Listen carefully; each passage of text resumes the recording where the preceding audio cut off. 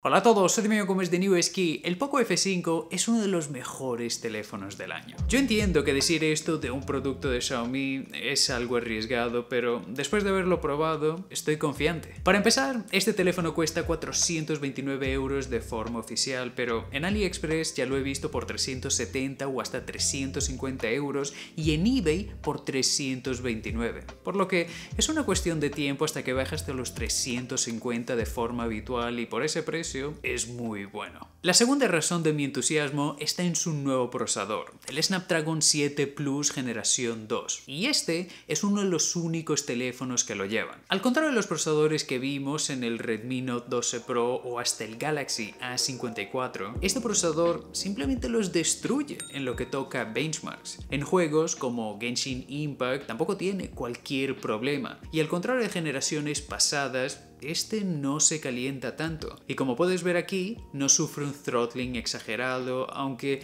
en algunas circunstancias lo puede hacer. Este es un procesador súper potente y que literalmente compite con los de última generación de Qualcomm. Y si no me crees, basta con ver este speed test que suele hacer abriendo aplicaciones versus el F5 Pro que lleva el Snapdragon 8 Plus generación 1 y en el que el F5 le ganó en la primera vuelta. Este procesador es tan bueno que no he notado ninguna diferencia viniendo del Poco F5 Pro y en términos energéticos pues me ha dado el mejor resultado que he tenido este año. Así el Poco F5 ha cumplido la promesa de la empresa en darnos un buen rendimiento a un precio bastante competitivo, sabes, como el Poco F1 o el Poco F3, pero aún así hay algunas cositas que no son perfectas y deberías conocer tal como lo es el patrocinador de este vídeo. UPDF es una herramienta muy completa que podrás descargar gratis en móviles y ordenadores, permitiéndote editar todos tus documentos PDFs a otro nivel. Con su fusión OCR que reconoce todo tipo de texto, podrás editar fácilmente cada elemento que quieras, modificar o añadir imágenes, hacer anotaciones y comentarios, organizar tus documentos, protegerlos con una contraseña y hasta poder convertirlos a otros formatos que necesites. Si sueles trabajar mucho con PDFs, deberías echarle un vistazo a su versión Pro que podrás conseguir por 65% menos por tiempo limitado con el enlace que dejaré en la descripción.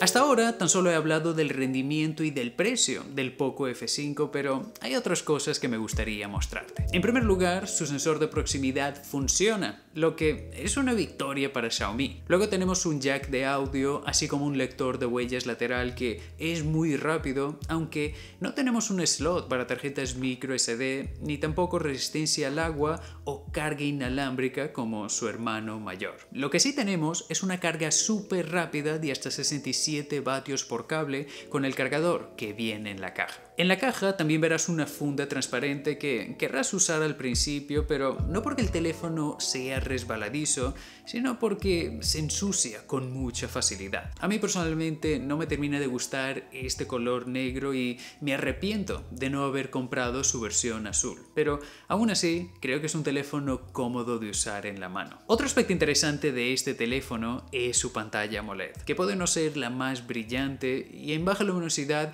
he visto tintes verdes pero en general diría que está a la altura por este precio. Sus dos altavoces también son igual de potentes, tanto que si toco la parte superior del teléfono consigo sentir las vibraciones del audio. Hasta aquí habrás visto que es un teléfono equilibrado que ha solventado el problema del sensor de proximidad y aunque su pantalla no sea la mejor, pues por 350 400 euros yo creo que da la talla, pero hay dos cosas que no me terminan de gustar. La primera es MIUI, que no ha evolucionado nada en los últimos tiempos y con actualizaciones pues nunca sabes lo que ocurrirá. El teléfono también viene plagado de aplicaciones basura que tendrás que desinstalar, así como anuncios en algunas aplicaciones del sistema. Y lo segundo que te debes percatar es en relación a sus cámaras. Y es que lamentablemente no me terminan de convencer. Los resultados con el sensor principal pues están bien, pero en muchas situaciones su enfoque es lento o simplemente le falta definición. Su sensor de ultra gran angular es aún peor en este sentido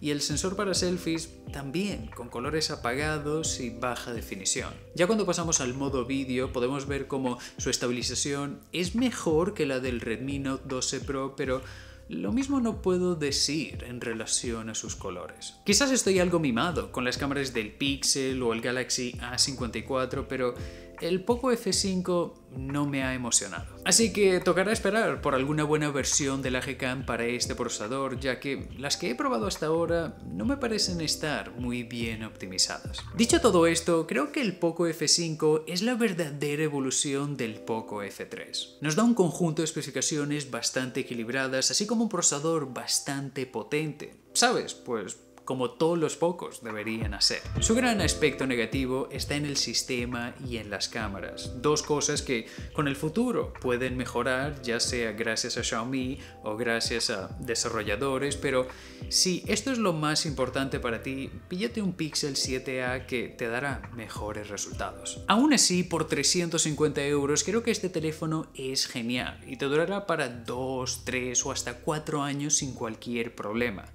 siempre y cuando pues Xiaomi no la cague con alguna actualización y aunque lo haga, siempre lo puedes instalar un ROM. Pero bueno, espero que te haya gustado este vídeo y nos vemos en el próximo. Chao, chao.